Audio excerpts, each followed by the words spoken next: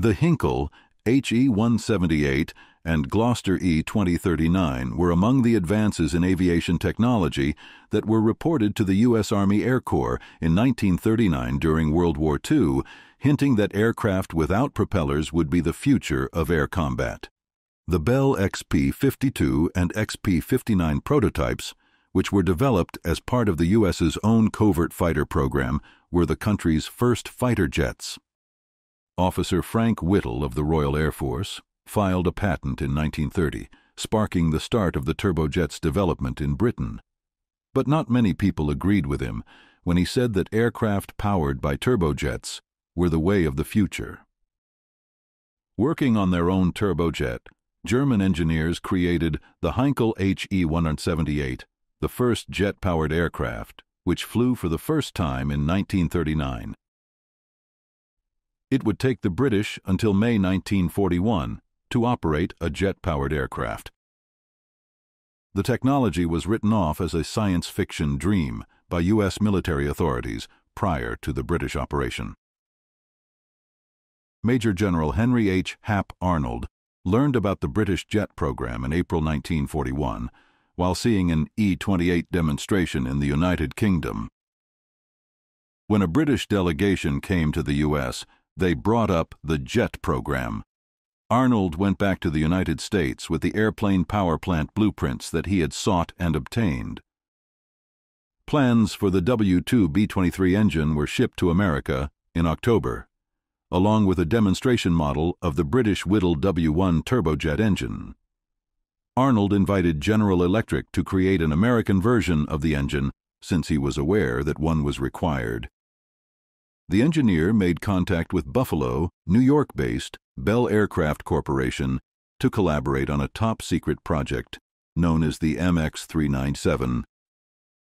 Lawrence Dale Bell, the company's CEO, approved the proposal and got to work on three prototypes. Only a select few employees of the corporation were aware of the project, which was conducted in the strictest of confidence the United States Army Air Forces began a misinformation operation dubbed Project P-59A to imply that it was an expansion of the shelved Bell XP-59 fighter project in order to conceal the development of the first American fighter aircraft. The engineered engine continued to be mentioned by General Electric as a spare part. On January 9, 1942, the fighter jet design was finished, and work on the aircraft started right away aviation executive Lawrence Dale Bell detested taking to the air. Chief Test Pilot Robert M. Stanley was given the project, but Stanley objected. The first prototype was shipped to Muroc Army Airfield in California, a remote location sandwiched between Shadow Mountain and the San Bernardino Mountains. The land was so isolated that development could be kept a secret, and it was named for the brothers who had originally resided there. Without telling them, engineers, technicians, and mechanics were transferred to the California desert in 1942 and dispatched to Los Angeles. On September 12, 1942, the first XP-59A touched down at the airstrip. It took seven days to reach Muroc. Previously a rural airstrip, Edwards Air Force Base is now home to the Air Force Materiel Command, which conducts research and development on new aircraft systems and flying technologies there. A key center for aerospace research and development, the site also contains NASA's Armstrong Flight Research Center, the Air Force Test Pilot School, and the Air Force Test Center. The first high-speed taxi test was carried out at the Airacomet Aircraft Factory on October 1st. The maiden flight was made the next day by Colonel Lawrence Craigie with test pilot Robert M. Stanley of Bell Aircraft at the controls. Although the test flight went well, the project's success did not last long. The open-air flight observer stations on the prototypes and initial production versions were eventually carved out of the aircraft's nose. The three P-59 Airacomets shown a number of flaws over time, including as poor lateral stability, an unstable engine, and insufficient input responsiveness. After piloting one of the prototypes, Charles Elwood Yeager, the first person to surpass the speed of sound in level flight, was pleased with how smooth it was. Despite poor performance and continuous problems, the U.S. Army Air Force has purchased 80 production copies of the P 59 Airacomet. The General Electric J 31 engines were not as powerful as the engine found in the YP 59A, the following variant. Despite being the first jet engine to be mass produced in America, the J 31's improvements were less dramatic than anticipated, with a peak speed increase of 5 miles per hour and a shorter overhaul interval. The weaponry of the aircraft was positioned for direct firing, which limited its lifespan prior to maintenance. With its powerful armament and better weapon placement, the Airacomet was a superior light aircraft compared to other aircraft.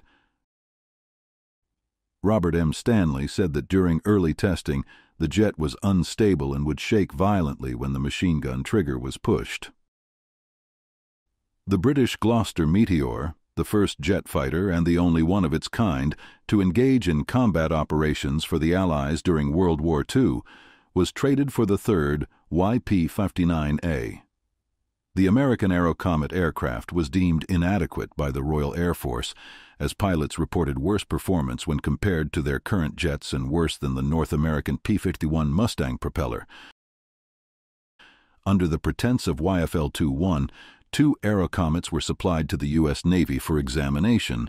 However, they proved to be ineffective for carrier missions. At the conclusion of the testing phase, no images of the aircraft had been made public, and the Pentagon maintained the confidentiality of all project details. Despite persistent difficulties, Bell Aircraft completed 50 of the 80 Airacomets that were intended, with 20 being given the P 59A designation and 30 being given the modified P 59B. Fall 1944 saw the arrival of the A models, who were equipped with 200 rounds for each of the three machine guns and 44 rounds for the M4 cannon. Army Air Forces pilots were trained in the handling and operation of jet aircraft by the 412 Fighter Group using the B type. Airacomet's ability to turn swiftly was remarked by Captain Eugene, one of the first-line military pilots to test the aircraft. A black program provided funding and construction for the Lockheed P-80 and Airacomet projects. The funding for the Airacomets project was not disclosed in conventional documentation, and it remained a secret until the end of 1944. In order to prevent reports regarding the new engine type, the aircraft were carried with a fictitious propeller. In June 1945, the 412 Fighter Group was dispatched to the Muroc airfield. However, the war ended shortly after. After that, the unit was moved to March Field, California, where the U.S. Army Air Force acknowledged that the defective plane was not fit to be used as an operational fighter. Lockheed P-80 aircraft, which were already in service and outperforming the Bell 59 Airacomet fighters of the time, were chosen by the Air Force in lieu of the former aircraft. All of the original fighters were rendered unusable by 1950 and were either used as artifacts or for military training. The Lockheed P-80s, in spite of their failure, enabled the Air Forces to carry on developing jet-powered aircraft. America's first fighter plane, the P-59 Airacomet, is still in museum collections, numbering six. The remaining five are on exhibit around the United States, with one undergoing restoration at the Planes of Fame Museum in Chino, California. Four of them are still in existence, the final one is at the National Air and Space Museum in Washington, D.C.